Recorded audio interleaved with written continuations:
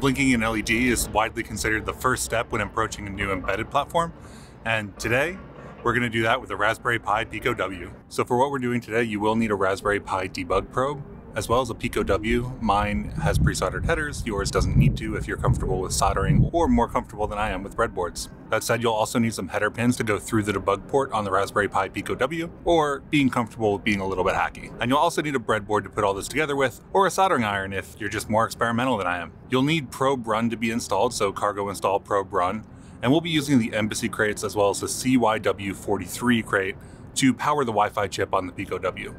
All right, so we're back from New Orleans, and async runtimes are great, but on microcontrollers, we're gonna go no standard and we're not gonna use the standard library. So that means that we don't get to use things like Tokio, but we can replace Tokio with a specialized async runtime. That is what Embassy is. Embassy allows us to program microcontrollers with familiar async await syntax and futures. Async tasks get transformed at compile time into state machines that can run cooperatively. Embassy requires no dynamic memory allocation and runs on a single stack as well. This means that it obsoletes the need for a real-time operating system with kernel context switching. But that's not all. Embassy is also batteries included. But what does that mean? When we build for microcontrollers, we need to build on top of hardware, which typically means building a hardware abstraction layer because you don't want to be managing registers manually yourself. These abstraction layers are called HALs or hardware abstraction layers, and Embassy includes quite a few of them, including Raspberry Pi and ESP32. Embassy also includes support for usable time types like duration, as well as networking, USB, and Bluetooth. And the async executor means Embassy is real-time ready, with higher priority tasks being able to preempt lower priority tasks. The executor also puts cores to sleep when they're not in use, which means reduced power usage, meaning your devices and your projects can run for years. And finally, you're probably familiar with upgrading the firmware in, say, a camera. This camera, for example, just got a firmware update 3.0. Embassy Boot provides this use case to your projects. That leaves us with the other major crate we'll be covering, CYW43. The CYW43439 is the Wi-Fi chip used in the Pico W. The repo for this Wi-Fi chip includes a blob of firmware that we'll use to drive the chip. So with the crates out of the way and it comes to building the program, there are basically two approaches we can take. We can build up our own program from scratch, which we'll leave to another day, or we can build one of the example programs from the Embassy repos. I think that for embedded projects and hardware in general, I've found less example-based documentation and less documentation in general. That doesn't mean things are undocumented, but it does mean that finding a program that works and making sure that can compile gives you a little bit of reassurance that you're not using something wrong. And I think this lack of documentation makes building a program from scratch a little bit harder. So for me, getting a program running with Embassy and the Pico W was easiest by using the example program in the CYW43 crate repo. This is because I was guaranteed to have an application that can run on the Pico W, and I could deal with any of the issues that rose up because they were definitely my issues. This is also the approach my friend Darrik takes in their blog post on blinking an LED on the Pico W. Now this program in the CYW43 repo is about 300 lines of code that implements a TCP echo server. We'll mostly be removing some code for this and inserting our blinking code, so I'm not going to cover all of what the code does, but I will cover the important parts for compiling and updating your program to run on the Pico W.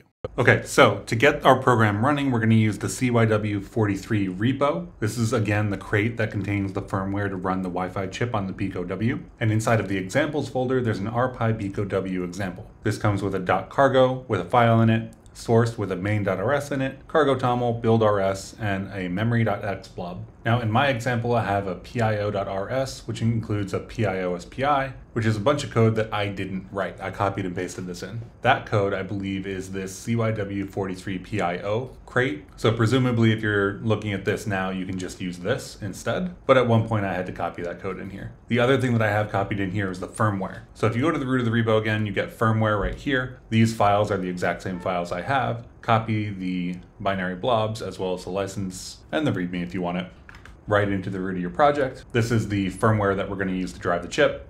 Memory.x we don't need to touch. Cargo TOML has quite a few different dependencies and such. I'm pinned to a specific commit for the CYW43 chip, as well as patching over the embassy crates. So the embassy crates are not released on crates.io right now. You do have to pin to an actual git commit. So in this case, this is my git commit and patch.crates.io means that wherever else we use them, they will get overridden with these versions. Now this kind of setup is very common when using Embassy because Embassy is not on crates.io yet. So we end up with a lot of the Embassy crates with a lot of features enabled for various things, pinned to specific commits with a couple of different things and options set in our profiles. Build.rs is only slightly interesting. It's basically just copying memory.x into the out directory and then setting a couple of different things that are basically going to trigger rebuilds.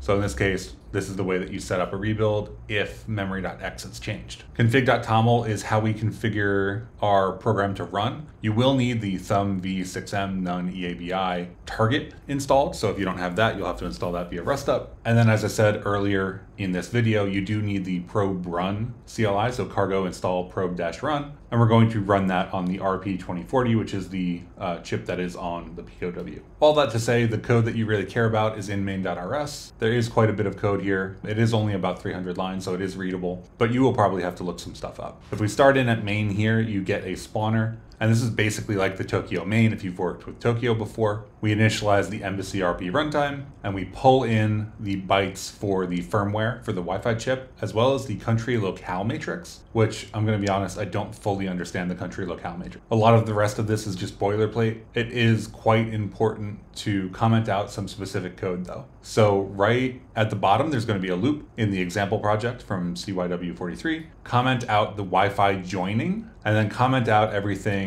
inside of this loop or delete it, whatever you want to do. I've left mine in. And then the way that we turn the LED on and off is related to a set of GPIO pins. So GPIO, general purpose IO, is just a set of pins on the Pico W that can be set to either 3.3 volts or 0 volts. That is either high or low. In this case, we're using pin 0, control is something we set up earlier. Now the GPIO pins are just general pins. They can be set to whatever. They aren't given a particular purpose by the board.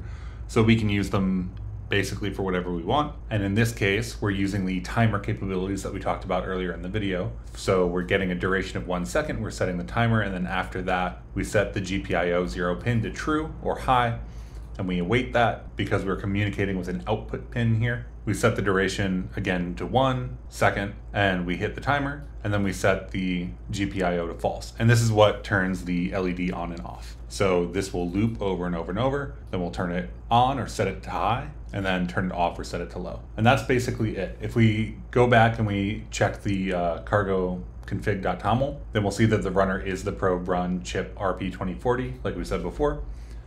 And in that case, we can just use cargo run. It will use the runner here. It will use the target we want to use because that will default to uh, thumb v6m none-eabi. If we check the Rust toolchain.toml, that is also what I have here, so that's why we are defaulting to that. I am using a specific version of Nightly, but you'll probably be able to update that. So if we run cargo run, we'll see a bunch of things run. Again, I have the three debug pins from the RPi debug probe plugged into the debug ports on the Pico W, and I also have both the debug probe connected to my computer as well as the Pico W itself connected to a power source. And that's it. The light is blinking for me right now. You can see the GPIO out being set. And if we scroll back up, we can see a little bit of DHCP happening here as well, because that code is also in the main.rs, even though we're not using it. So we can see the number right here where I'm waving the mouse, one, zero, one, zero. And that's it. And that's a blinking LED on the Pico W. There's quite a bit to go over here. It probably makes more sense to do a more in-depth from scratch video, but I'm having fun with this and I wanted to share it with you. If you wanted to see how Rust runs on an actual microcontroller, this is how it happens. So I hope that you're gonna go out and get a Pico W and try it yourself. Make sure to get the Raspberry Pi debug probe because it does make it easier. Otherwise, you will need two Pico Ws. That's just not the configuration I'm working in. And that's it for today. If you want to see more embedded videos and you watch to the end, let me know in the comments. Um, especially let me know what platforms you're working with, what you want to see, and I will catch you in the next one. Have a great rest of your day.